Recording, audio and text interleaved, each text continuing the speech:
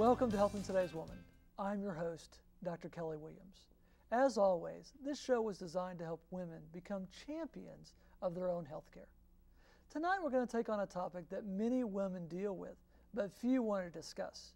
And that's the whole idea of urinary incontinence or urinary leakage. Now, a lot of women will say, well, I thought that was just a normal part of aging. Or, you know what, that's just the result of having a number of kids. And although that is true, there are some real treatments and some real options to prevent and also to help treat those patients that are dealing with it. Tonight, we're very blessed to have with us Dr. Barry Jarnigan, who is a urogynecologist, which means he deals not only with the urinary tract, he also deals with the pelvic organs. He is also the director of the Center for Pelvic Health, that is a division of the St. Thomas Health Services. Now, Barry's been with us before, so I want to reintroduce him and say thank you for coming to uh, join us today. Um, I kind of want to start at the very beginning, and that is I want you to give us a little bit of an idea of the different types of incontinence that are out there. Well, first of all, thank you for having me back. I really appreciate it. Oh, you're welcome. And I want to uh, appreciate the opportunity to talk about something that, as you commented on, most women don't want to talk about. Um, in fact, many women are referred to our practice and still don't want to talk about it once they get there, even though that's the purpose of the visit. So this is a difficult thing for them to talk about. The other thing that you mentioned that I want to emphasize is it is a very common problem. Yes. And because most women think that they're either all alone or it doesn't happen very often. It's very common. The types of incontinence. The first and the most uh, common type of incontinence is a type of incontinence called stress urinary incontinence. And that is where when women cough, sneeze, laugh, any kind of pressure movement towards the abdomen pelvis will cause them to leak urine. That the, one of the most common causes of that is childbearing. That doesn't mean it's normal, but it is a common cause. There's other causes that are related to that, and women can have incontinence, even urinary incontinence, even if they haven't had childbearing. The second most common type is called urge type incontinence, which is where it is the gotta go, gotta go, gotta go phenomena that right. women have heard on TV before, and they just merely cannot wait till they get to the bathroom before they leak. A sudden spurt, if you will. There's a third type of incontinence called mixed incontinence, and as it is described, is a combination or both types of incontinence, both stress and urge incontinence, exist in those women. And so they actually have two different types of incontinence. There's another type of incontinence called overflow incontinence, and that is where women can't empty their bladder, and so they're walking around with a full bladder all the time. and anytime it is tipped, if you will, much like a full glass of water, it will leak. And so they will have the same symptoms as women who have stress incontinence. So the symptoms are the same, but the cause is much different. And do we know what the cause of that last type is? It's, it's where their bladder doesn't contract and empty their bladder. So they actually have urinary retention or partial urinary retention so that they never completely empty their bladder. So they walk around three fourths full, if you will, and when they do go to the bathroom, they only void a little bit. And so they think they're voiding fine, but they're really not. And so it's a neurologic problem typically related to the uh, inadequate contraction of the bladder muscle. Now, we also talked a little bit about urge incontinence. You mentioned a second ago. What are some of the causes for urge incontinence? We mentioned that, that childbearing is a cause for stress. What about urge incontinence? What are some of the causes of that? That's a great question, and there is some debate as to whether this is primarily neurologic, primarily muscular, related to the muscle of the bladder itself, mm-hmm. or some combination. And, and typically it's going to be one or the other or the combination. And my and rather than it being a debate, I think it's probably a combination. So it's a neuromuscular dysfunction, if you will, of the bladder. Well, as we always see in medicine, things aren't as simple as we want them to be. Oftentimes, we want to say it's this one thing or it's this one thing, but a lot of times it's a combination. And a lot of times, these arguments or concerns really are that there's not one or the other. It's it's combination of both. One of the things that women don't realize is that even though the bladder is a fairly simple organ, it's mm-hmm. designed to relax and fill, contract and empty. That's really the only two functions it has, but it's very complex in the function of those two. and that anything that can disrupt the nerves from the brain down the back out to the bladder, anything that disrupts that circuitry can cause urinary incontinence. Well, let me ask something else because I want to turn this to a little bit. What about the patient that says, "Well, my mom had leakage. You know, wasn't something she talked about a lot, but as I started talking to her, she said, I, I had leakage." Are they more susceptible to develop it if their mom had it, or their grandmother, or an aunt? How does that work? Well, there's certain tendencies that pass down from generation to generation, and so you're accurate on all types of incontinence. Women who have stress-related incontinence tend to they have a tendency to have weak areas along the urethra, and so their ability to develop uh, weakness related to trauma, i.e., childbirth, is going to be much more than the lady who doesn't have that type of tendency. So part of that is genetic makeup, if you will. So some women are more prone to have injury at the child, time of childbirth than others.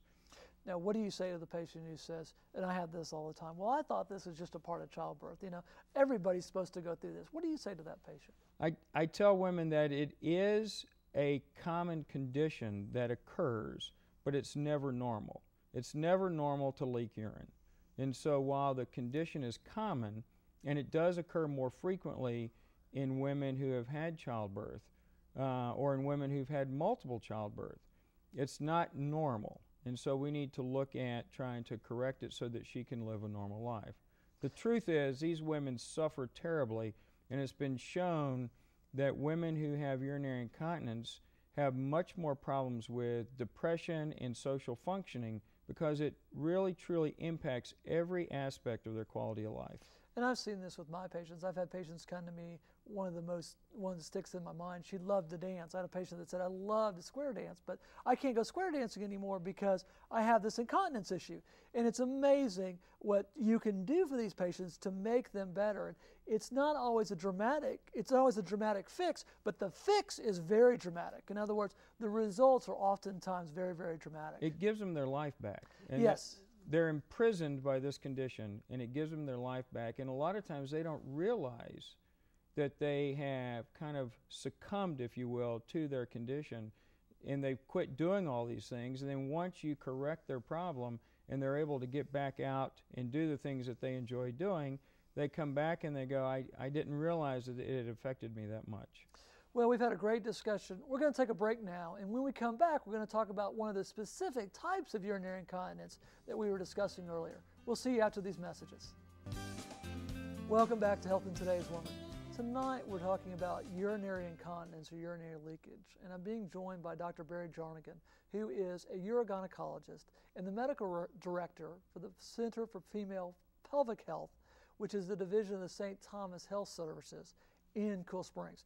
And Barry, our first segment, we talked a little bit about some of the different types of urinary incontinence. In this segment, I really want to focus in on one type, and that is this type of stress urinary incontinence. Can you give us kind of a little bit of a refresher? We talked about a little bit earlier about what stress urinary incontinence is. Again, stress incontinence is when there is a weakness along the urethra, and everybody wants to talk about their bladder, but really it's a weakness at the level of the urethra. And so the urethra is traumatized at the time of childbirth or prior surgery or some other reason.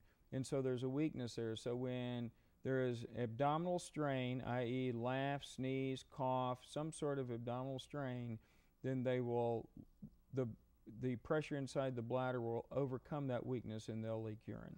Now, I want to take a second here just to explain one thing. Now, the urethra carries urine from the bladder out. So, a lot of people get confused, but the bladder out. So, we're talking about the bladder, urethra, and then the outside. So, it's a weakness in that area. Correct. Now, is there any medical treatment for this condition?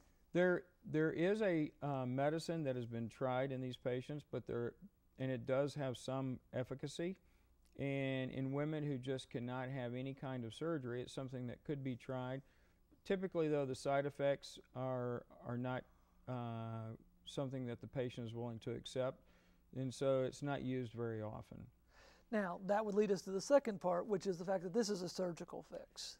It is a surgical fix, but it can be, there are office procedures, uh, minor procedures that can be helpful in treating urinary incontinence.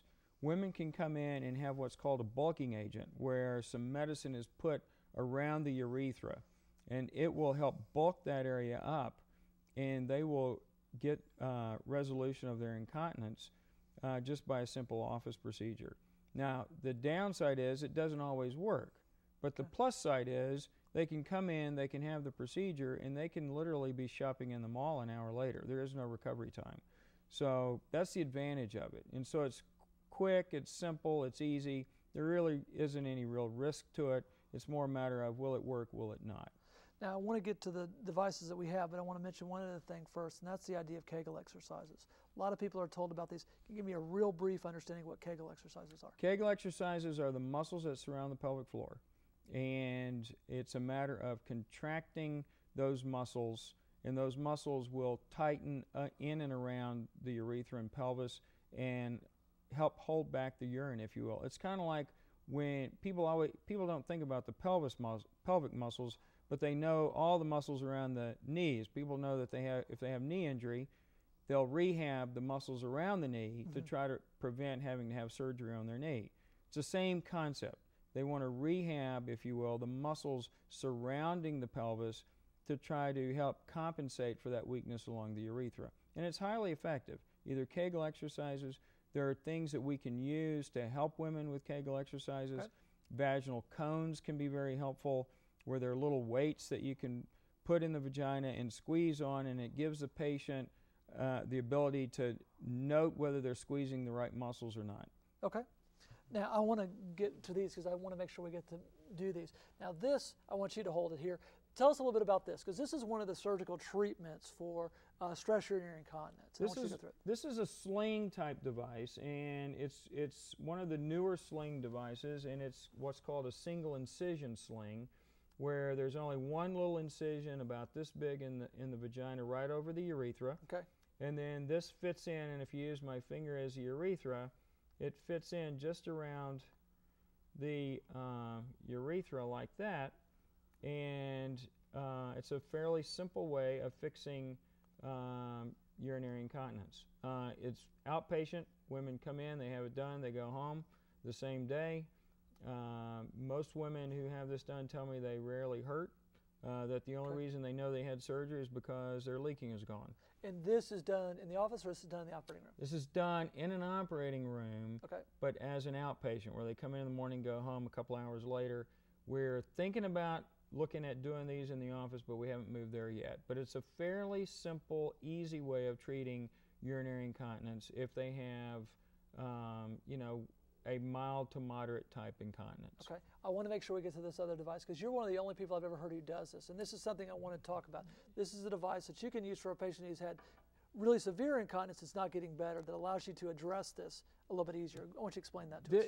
I use this this type of sling in two occasions. One is exactly what you described, the most severe type, where the and the urethra is depicted as this kind of tube here, but where the urethra just doesn't work at all. Okay. That would be one way, one reason. The other one is in women, and this is for those women who are out there who have had surgery and for whatever reason it didn't work. We know that with these type slings, the success rate is about 85%, which is very good. 85 out of 100, but there's 15% of women who don't get help. And in those women, they you still can get help, and that's where this comes in. Okay. And this sling works in people who've had prior surgery, but it didn't work for whatever reason. Um, and this is called an adjustable sling, and the sling fits down, and I think I can get it off here. But the sling, the sling fits down under the urethra, and this is the depicted as the abdominal wall. And so the sling goes down under the urethra, Okay. and it comes up to the abdominal wall, and then they actually go home with this little plastic device uh, coming out and taped around it like this. And they come back to the office, and we put this little screwdriver in, and you actually can adjust this sling, and that's why it's called an adjustable. Okay. You adjust this sling until they're dry, and so it's virtually 100% effective. Um, and so you adjust this sling, and then once uh, you get them dry, then you merely just pop this off, and they have this little what I call a button. They have this little button here sitting just under their pubic bone, Okay. and so they go around. And so if years later their urethra gets worse, or whatever, Just you just reattach this and you tighten it up a little bit more. And so it's there's always a way to make them continent. We're going to be back right after these messages, and then we'll address this a little bit further. So we'll be right back after these messages. Welcome back to Helping Today's Woman. Tonight we're talking about a topic that many women don't want to discuss, and that's the whole idea of urinary incontinence or urinary leakage. In our last segment, we talked about a specific type of incontinence called the stress incontinence. In this segment, we're going to take a little bit of a turn and talk about urge incontinence. This is the, as Dr. Jarnigan said in the first segment, the go, go, go. The patient that can get to the bathroom and knows every bathroom between here and the mall. So we're going to talk a little bit about some of the ways that we can treat that type of incontinence. So Barry, why don't you give us a little bit of a basic understanding of what urge incontinence is, and then what are some of the basic treatments that we can use? Okay, again, urge incontinence is when there is some neuromuscular dysfunction uh, at the microscopic level that causes the bladder not to fill properly. So they just can't hold as much as they should be able to. And when they reach a certain volume, and everybody's different depending on the severity of their problem, when they reach a certain volume, their bladder will have a spontaneous contraction and they will leak. And so that's, the, that's what's called urge incontinence. Okay. And how we treat that, we first start with you can do physical therapy. Physical therapy works in both types of incontinence. Okay. Uh, and then you move into medical treatment, and there's a lot of medication on the market. There's eight to ten medications currently on the market that can be utilized for uh, urge incontinence. And people go, well, which one's the best one? And it's kind of like, you know, if hypertensive meds and um, Motrin versus Naproxen, everybody responds differently to different medications. So there's not a best one. It's a matter of finding the right medication for the right person. And so you try that, and there are side effects that can occur with those type of medicines. The most common is dry mouth, uh, and some women can get constipation, and of course the constipation can make the urge incontinence worse. But uh, but those are the kinds of medications that we utilize uh, to treat, and some women will do very well on those medicines, and some women uh, will fail on those medicines. And one of the common complaints that I hear is, Dr. Williams, why are you giving me something that's going to make my mouth dry when I'm already having a hard time with peeing all the time, which makes me want to drink more? So, you know, it's kind of a catch 22 That's here. a- We're trying to give you something to help you, mm-hmm. but sometimes we make it worse. That's ex- no, that's exactly right, and, and and that's one of the reasons why many women who develop those symptoms just simply don't stay on the medication. And that's a great point, and that's one that we want to take to the next step because there is a new device. For years, as a women's health specialist, basically what we had to do is we basically told people, you know what, you're not getting better, there's not much we can do about it. Well, today we've actually got some devices and some new technology that really can treat these patients in a way that we haven't done before. And so I want you to kind of go through this because I think this device is such an important device. And describe to us what it is and describe to us in a patient that it would be used in. In the simplest uh, way of describing it, it is a pelvic floor slash bladder pacemaker. Uh, and it's made by a company who makes heart pacemakers. And for women who who uh, have either had a heart pacemaker or who know somebody who has, it's a little small battery, but instead of going up in their chest cavity, it actually goes into their lower back. And we have a um, kind of a lower back model here, and you can see here, and it's and this actually ultimately is implanted uh, below the waistline, but but above where you sit, and it goes underneath the skin. So everything is underneath the skin, and this permanent wire feeds through there, and we're going to be able to turn this over. You can't do this at home, but and it goes out, and it doesn't go into the back, but it comes out to into the nerve that goes around and feeds the bladder. So this this lead wire lays down right along the nerve, so it modulates the nerve. And so if the bladder is wanting to contract too much, it'll slow it down. This also works in overflow incontinence. Okay. Uh, so this works in women who are not emptying properly, and it'll help them em- empty better, which will reduce their overflow incontinence. And so this lays down along the nerve just like that. The exciting part of this and the timeliness of doing this show today is we have now moved the. f- This is done in two phases. Where phase one you put the wire in, and in phase two you put the battery in Okay. two outpatient surgical procedures. But now, and I don't know if you can get a get a close up of this or not, but this is see how small that is. This is a small wire that we actually can put do the test in the office. Oh, wow, okay. And so we can do the test in the office with this little small wire. And so we can, if it works, then we can bypass that first hospital outpatient visit and go straight to just one visit in the hospital to put the battery and everything in. That's great. So we now can do this in the office, and the ones that we're doing in the office again tell me that they really are not. Ha- I mean, it, they're it's very well tolerated. okay. Um, it's it's a it's you know less really than a blood stick. I mean, it's really you can see how thin and fine this is. It's a really small wire. It goes in under local, um, and um, it it saves again it saves the lady from having to have two hospital outpatient visits, and we can go to just one. And so if it works, we put this in, and if it doesn't, then the wire comes out and we try something different. I have to tell you, I've had patients who've been through this, and for patients who are dealing with urinary incontinence who once thought there was no options, this is a great option. We will be right back after these messages.